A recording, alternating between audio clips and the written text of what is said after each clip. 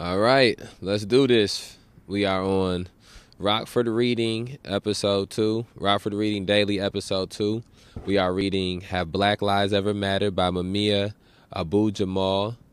Uh, we are on chapter one Hate Crimes. Hate Crimes, June 14th, 1998. The barbaric torture and murder of James Byrd Jr. by three white men, Shawn A. Berry, Lawrence Russell Brewer, and John W. King, in the tiny Texas town of Jasper, has become a summertime feast for an insatiable American media, but it is a meal that consists largely of spectacle. On June 7th, 1998, Berry, King, and Brewer offered Mr. Byrd a ride home. Instead, they shackled Mr. Byrd's feet to a chain and dragged him behind their truck for miles.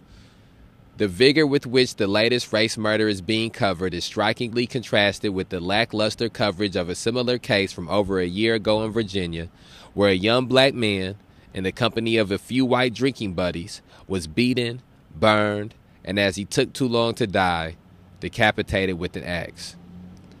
Why is one story a national firestorm and another a local curiosity?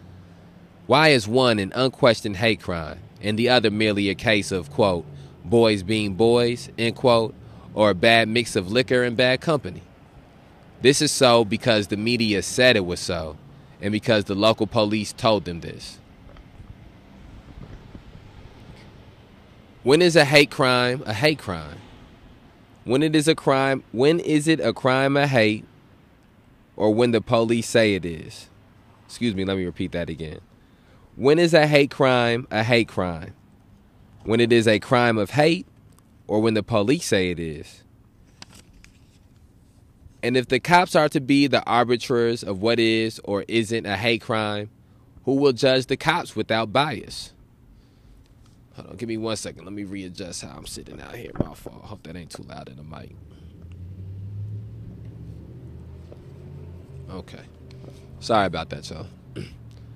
In late April 1998, New Jersey state troopers pumped over 11 shots into a van occupied by four black and Hispanic students who were on their way to basketball tryouts at Central University in North Carolina, seriously wounding three of the four young men. Thanks to the infamous quote, racial profiling, end quote, program of the New Jersey State Police, the four never made it to tryouts that day because they were found guilty of the unwritten crime of DWB driving while black. Despite a rain of lies alleging that the basketball players were speeding, attempted to run the cops down, and so on, it soon became clear that the boys had done nothing, nothing except exist. Ain't each of the 11 bullet holes evidence of a hate crime? In Chicago, a man named Carl Hardiman was shot and wounded by a city cop for refusing to drop his, quote, weapon, end quote, a cell phone. Ain't that a hate crime?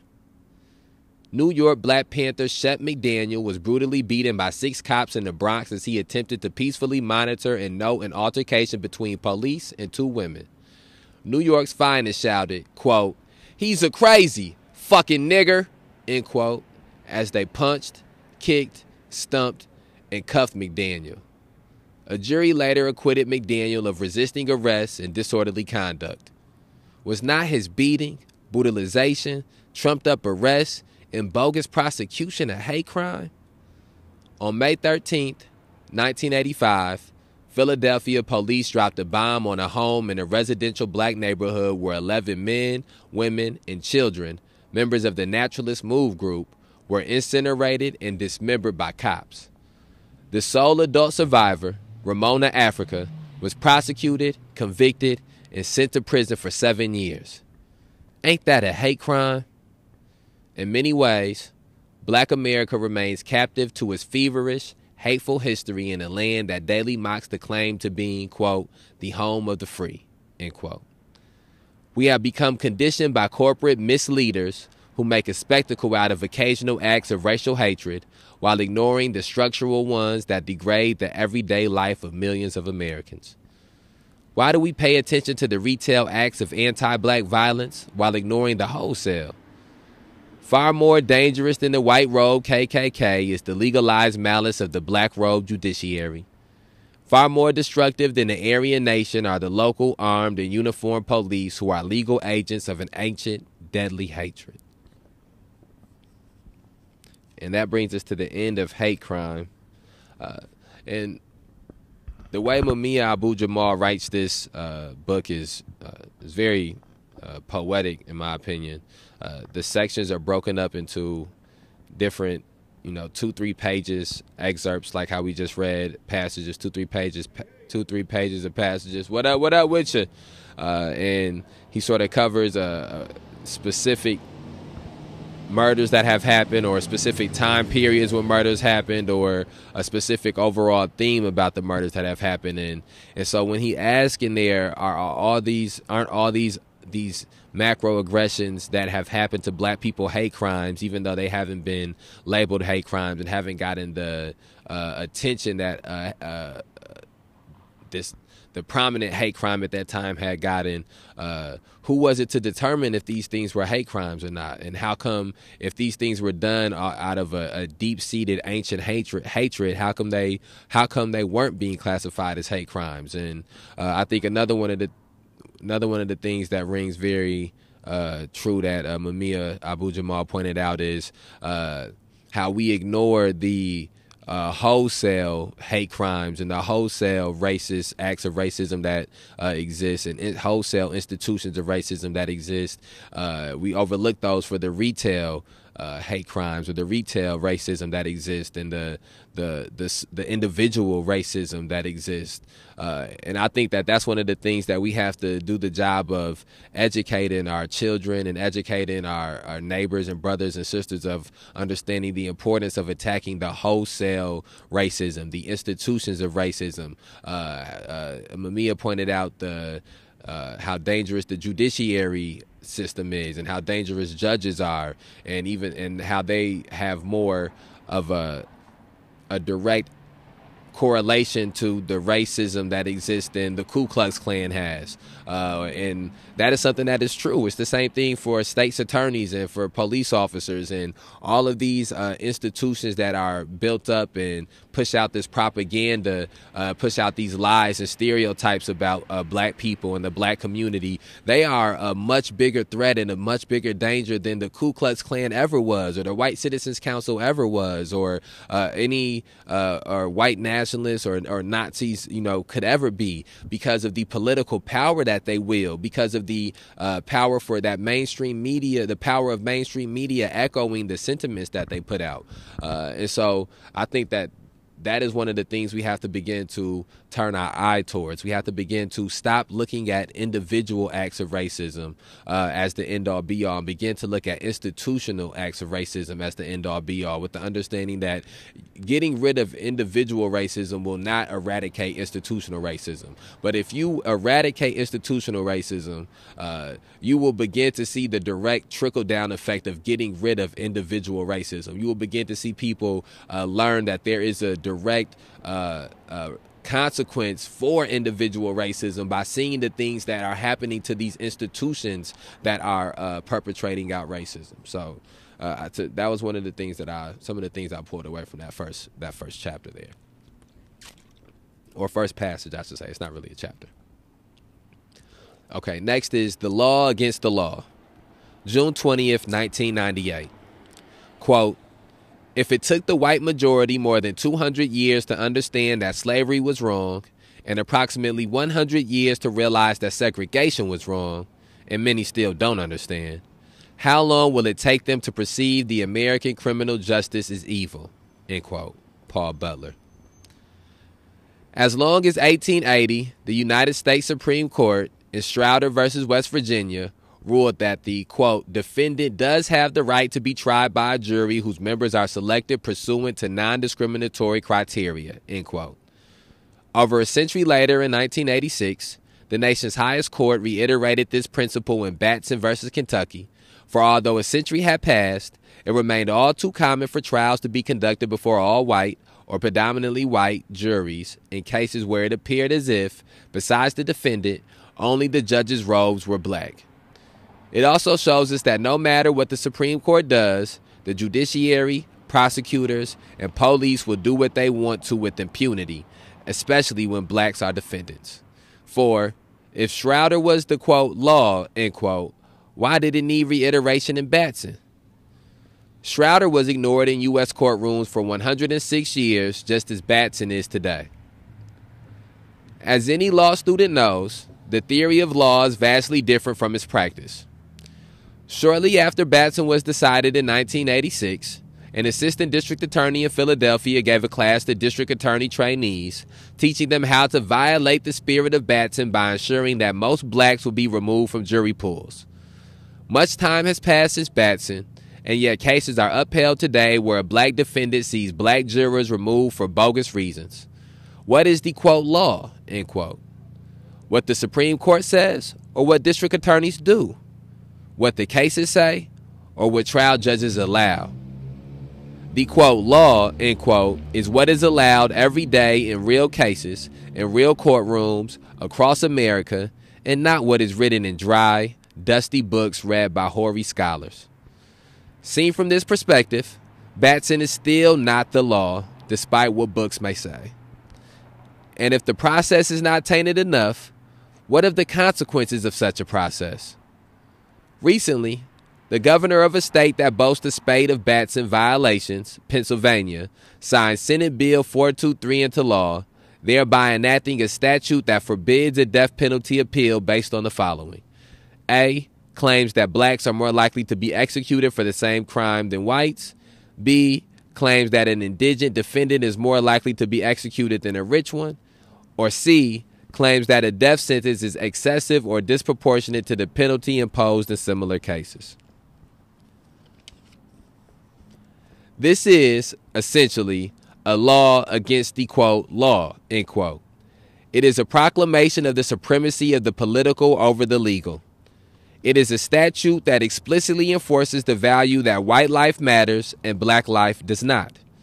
It is a law of the state that exclaims the inherent superiority of the wealthy over the poor and that allows the basest disproportion to masquerade as, quote, justice, end quote. It is a statement that reflects a hellish, unequal status quo that still has not changed no matter what the U.S. Supreme Court says and no matter how many times it says it. It is the law of what was, what is, and what may be. And then that brings us to the end of that passage. Uh, give me one second here. One second here. I want to check where we at on time. I know we still got time to go. I just want to see where we at. Uh, like I, I, I said in the first episode, one of the things we want to try to do with these for Reading dailies, at least at this point right now, is to try to keep them between 30 to 40 minutes. Uh, that way, is something that's easily digestible and uh, people can get in the routine of, of, picking up and listening to. And if people miss a few, they won't be too far behind to try to uh, catch up. It won't be too many, uh, too long of, episodes to catch up. Uh, so we're at about the 13, 13 and a half minute mark here. So what I my thoughts on that passage that we just read.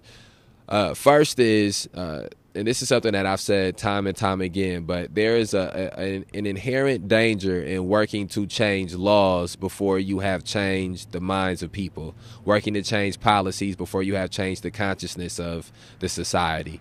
Uh, because you get into a place where you have something written down in policy or you have something written down in law, uh, but you need people to enforce those policies. You need people to enforce those laws. And typically, the people who get the laws passed and get the policies passed and written and voted on are not the same people who enforce them. Uh, they are not the same people uh, uh, who oversee them. Their the, the, their job sort of ends with the writing of it and the passing of it. Uh, and so, if if the job is not done for the the, the society and the community to have changed their thought process with certain things, to change their perspective on certain things, even though the policy is written differently, uh, it won't be upheld. And so, one of the things that Mumia uh, pointed out here and, and asked here is.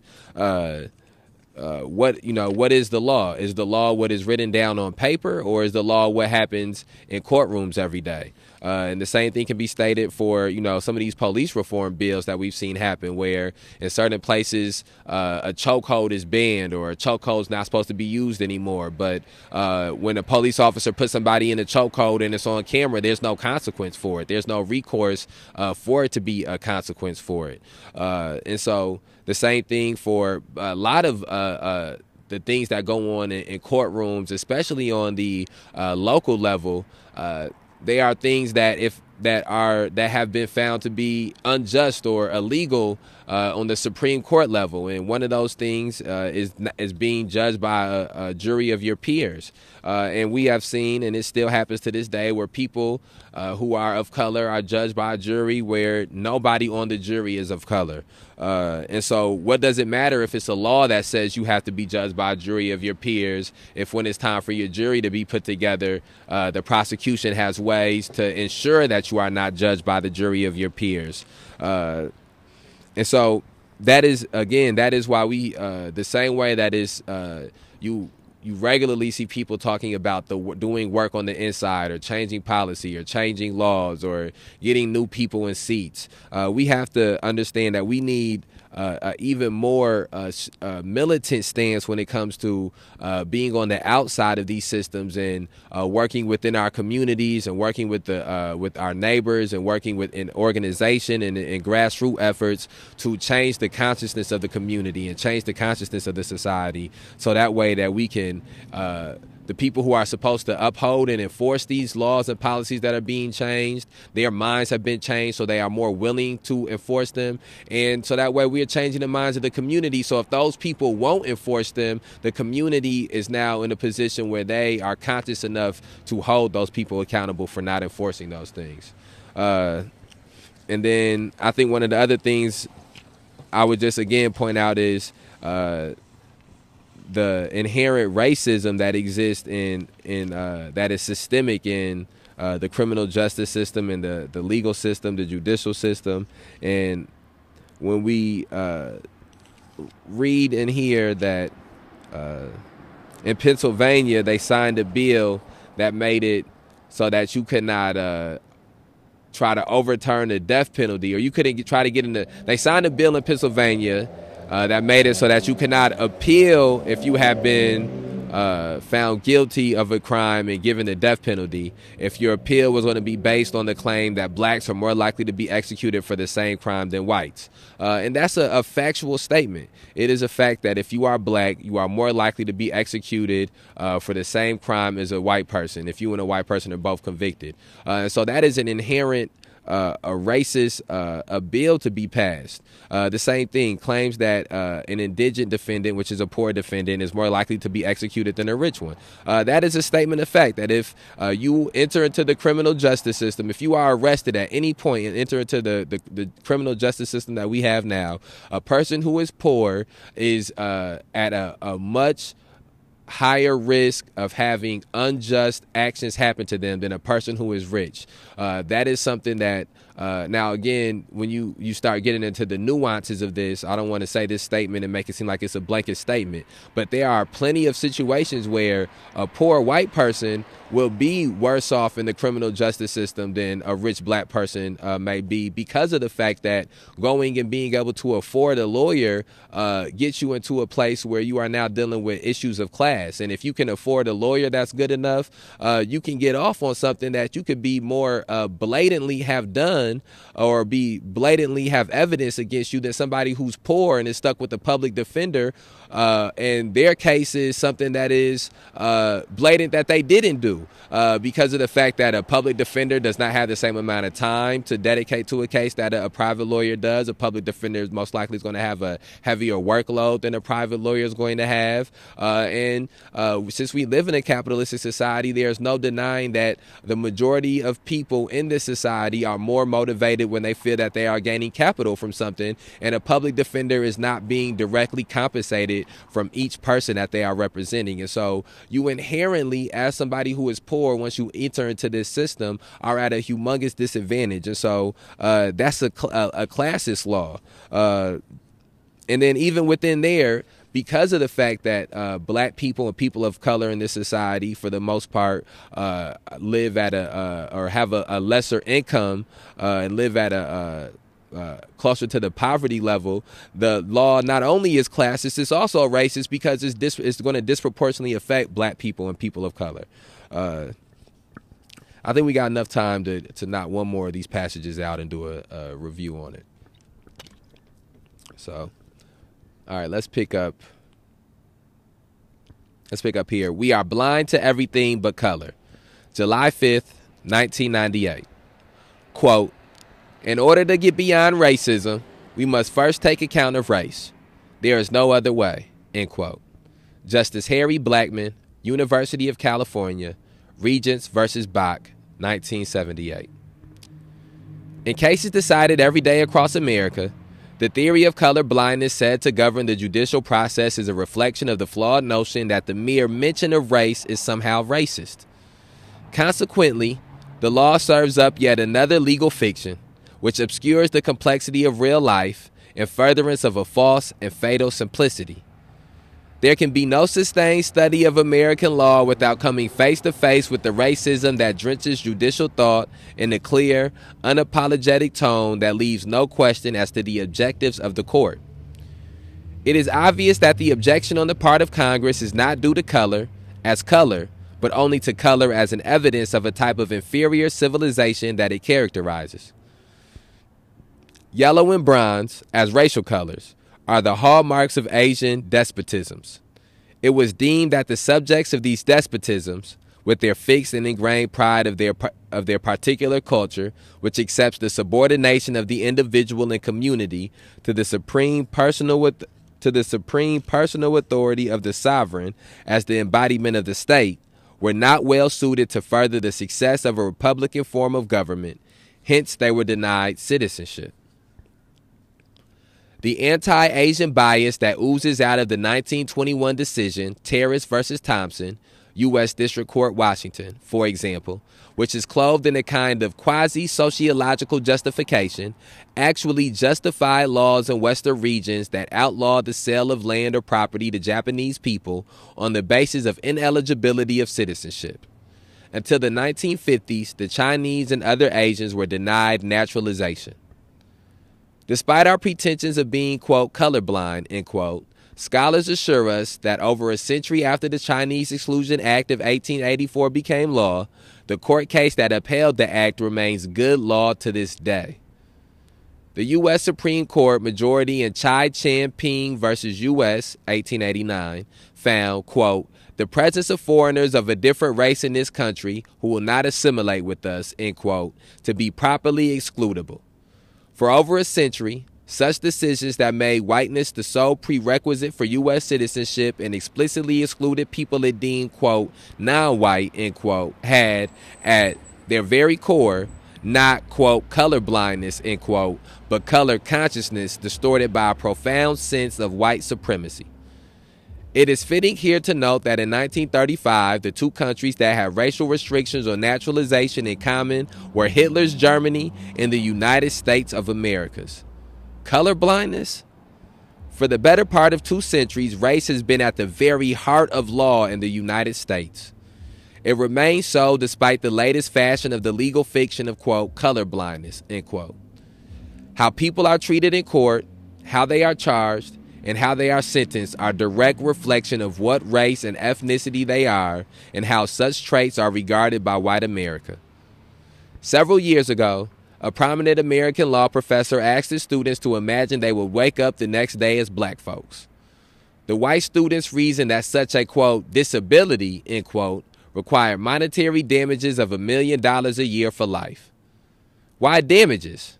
Unless color does matter unless whiteness is a valued property which, when lost, demands a premium payment, and black is devalued. Americans are blind to everything but color. All right, and then that brings us to the next passage. Uh, so, again, I'm going to check the time here. And I think we're probably pulling up to the 30 minute mark. Okay, we had about the 24 minute mark.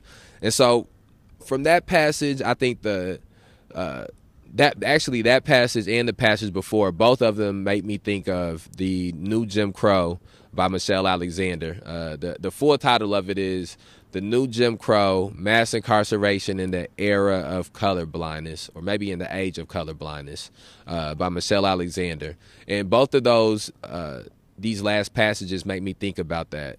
Uh, the this passage when it speaks about how we live in a society where where where this idea of color blindness is pushed, uh, when in reality everything that exists in this society is uh, steeped in uh, racism or colorism or white supremacy uh, because of the fact that we have not strayed as much as people uh, may. You know, a lot of times we don't take the time to think of it, think about it, but we have not strayed from a lot of those ideals and ideologies which first uh, birthed this society and first birthed this nation. Uh, we, they have, they've they've adjusted, they've reformed. Some of those ideas have been reformed to make people more comfortable with them and to include more people in them. But that is not a changing or alteration of those ideas or those concepts. Uh, and so, uh, the one of the things that you hear people say often is this idea that uh, oh, I don't see color, or color doesn't mean anything to me, color doesn't matter to me, and uh, I think that that is something that uh, is uh, uh, uh, you know, a, a, wish to get to or a desire to maybe to get to at some point in some type of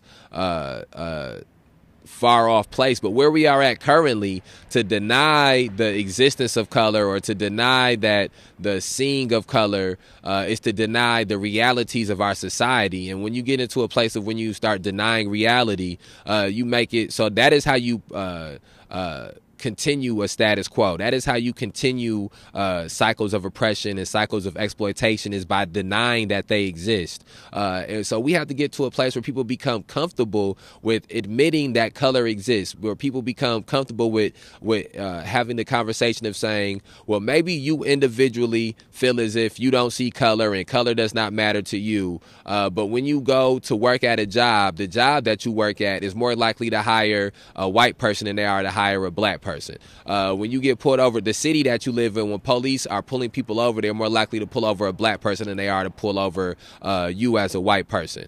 Uh, the the when a child is born uh, in a hospital, if the child's mother is black, the child's mother is three times as likely to die giving birth uh, to the child. And these are all things that are uh, uh, systemic and systematic issues that are much bigger than the individual, that uh, encompass the institution, that encompass the society. And so the denial on an individual level of seeing color uh, does nothing to address the fact that institutionally and at a on a broader scale, color is written into everything that exists here. You are, if you go to get a, two families go to get a, a, a loan from a bank, the family that is white is more likely to get the loan from the bank. Uh, you know, and those things go go on and on, and they've been that way for since the beginning of this uh, country, since the beginning of this nation. And have they uh, have they uh, uh, adjusted some? Yes, they've adjusted some uh, because of pressure being put onto some of those things. Uh, but to deny their existence is uh, is is negligent. And we have to get to a place where we talk to people about how it is not about you individually not seeing color. Uh, uh, the criminal justice system sees color. Uh, the institution of policing sees color. Uh, the education system of education sees color. Uh, and so we have to uh, get people who may individually be in a, a, place where they don't see color or color is not a thing to them to uh, be able to accept the fact that these uh, institutions do see color. Uh, let's see. Let's see where we at on time. I just I just checked that, but oh yeah yeah we got we gonna knock one more passage out. Okay. All right, let's do next passage. We are on a history of betrayal, October 29th, 1998. United States history is a study in denial for much of what is taught as history in the schools of the nations bears little relationship to the lives lived by millions of men, women, and children on the land we now call America. Most schools teach that which is safe and mostly false. So much so that shock and disbelief are usually the result of telling a history that reveals that many of the men called, quote, founding fathers, end quote, were enslavers, visceral racists, and, in a word, creeps. Dedicated to the erection of a, quote, white man's republic, end quote, as supported in the 1857 Supreme Court opinion by Chief Justice Roger B. Taney in Dred Scott versus Sandford, many of the nation's leaders, congressmen, and presidents were virulent racists who made every effort to deny any semblance of justice to black freedmen in the hellish aftermath of the Civil War. How many Americans know that more than 37,000 black men died while serving in the Union Army? The people who fought to preserve the Union, who fought against the secessionists and enslavers, returned to a South where virtually every promise made to them was shattered and broken, often by the very government they had fought to defend. While the war was raging, General Sherman assigned thousands of acres to freedmen on the land that was vacated by white enslavers or confiscated. These lands, on which more than 40,000 freedmen and their families tussled with the earth to create a life, were summarily snatched away from them by the U.S. government.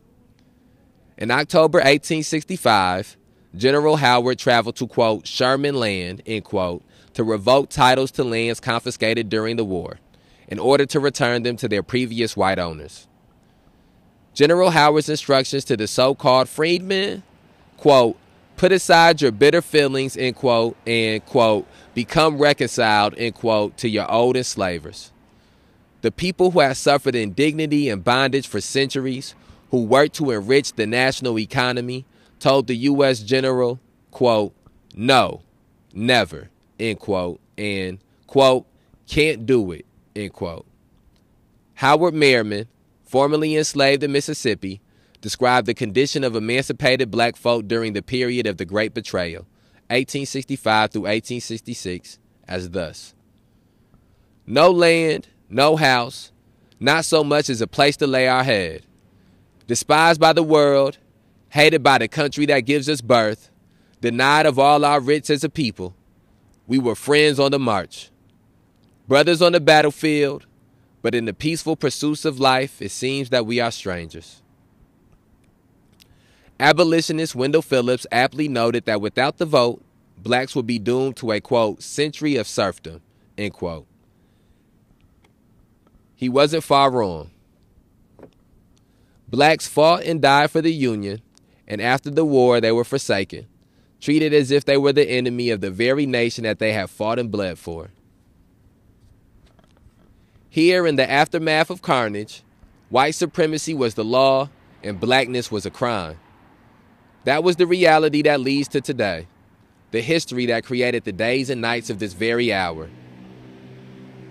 When the United States was formed, it was constituted by an act of compromise that left half of the nation slave and the other half of the nation, quote, free, end quote. A hundred years later, and even after the raging horrors of war had ripped the nation apart, a new compromise was reached between the North and South.